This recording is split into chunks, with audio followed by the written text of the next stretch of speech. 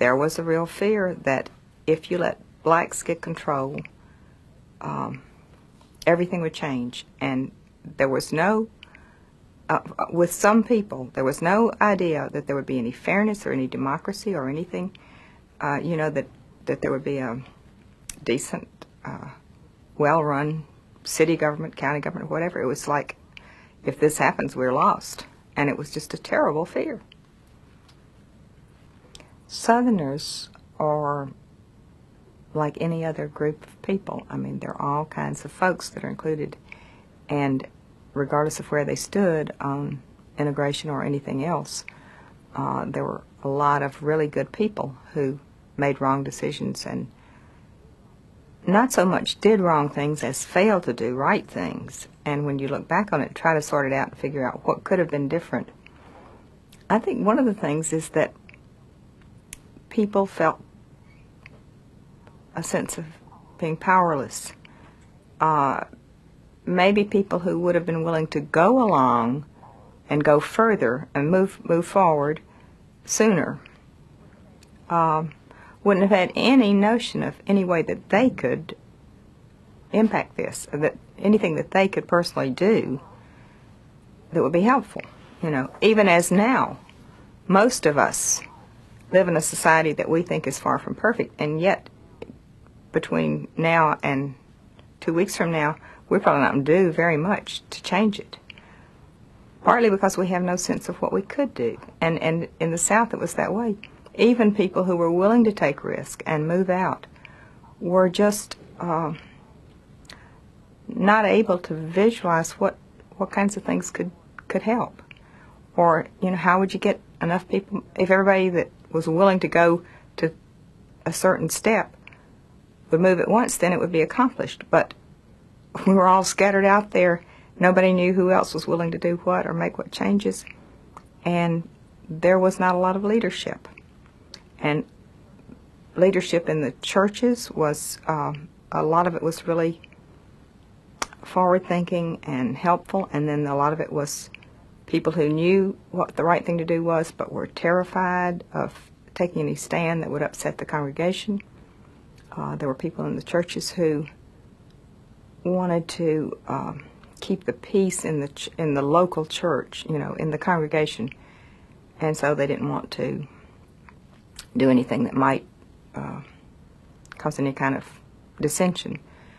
Uh, politicians, even people who knew better, who would have been willing to go further personally, or to have the state move forward, were always bound by fear of not getting reelected. And so, really, people who knew better just stuck with racism for political reasons. It's what I think. You know, it was, but a lot of it, just in average citizens, was just that people didn't know what to do. They didn't know how to help. There were, there still are, a lot of strange myths floating around in the South there were a lot of strange tales from Reconstruction. There were a, a, there's an awful lot of fiction that uh, that floats about, and so I have no idea what kind of weird uh, notions people had, but but mostly I think it is of uh, losing control. You know, I mean, there was some higher level of trust, even of dishonest or corrupt white politicians, than of a black in some position of authority over you for people who had grown up with these uh, myths and fears so that it was easier to stick with somebody that you might not have even cared for who was white. I know that there were people who actually became physically ill every time there was any big desegregation news. I mean, you could just count on it. if you went to their house, you knew they were going to be in bed. Um, it really just was. This was after I was a grown woman, and it, it was pretty startling to me to discover that there were people that had that kind of that were bound in that way to racism. But uh, of course, there are people who are a lot worse that I didn't happen to know personally. Um, for me, it's it's there's a lot of guilt that's involved um, because growing up, if you grow up and accept things the way they are, then you have to wonder, you know, why why did you accept all of this? Why did you not question more, or you know, wh- why didn't you think about all these things that were happening?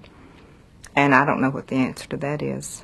My um, great grandfather was a really good man, but he was really a racist also. He, I guess, was influenced a lot by things that happened during Reconstruction.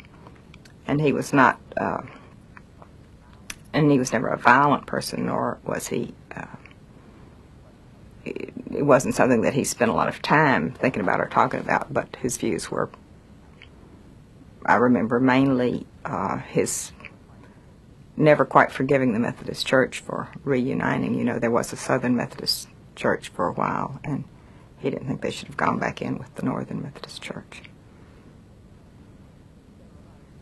There were a lot of really good people who were and are racist, and I don't know how you explain or justify, or a lot of people wouldn't even accept the fact that you can be both, but in my belief, you can for instance, there were a lot of people who were willing to accept um, when Emmett Till was murdered. There were people who were willing to accept the fact that that this was.